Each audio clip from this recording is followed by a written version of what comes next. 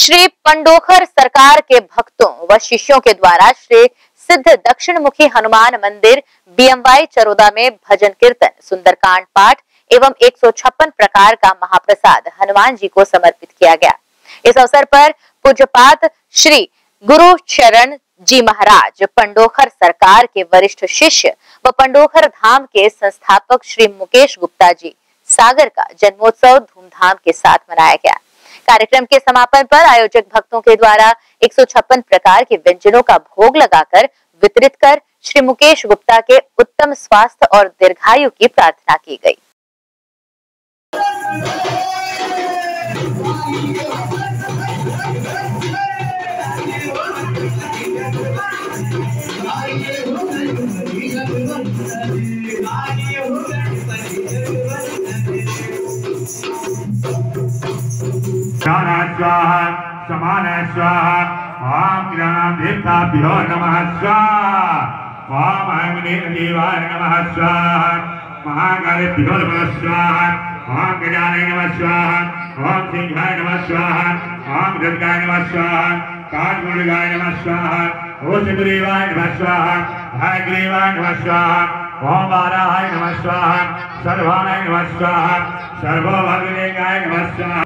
Hare Ram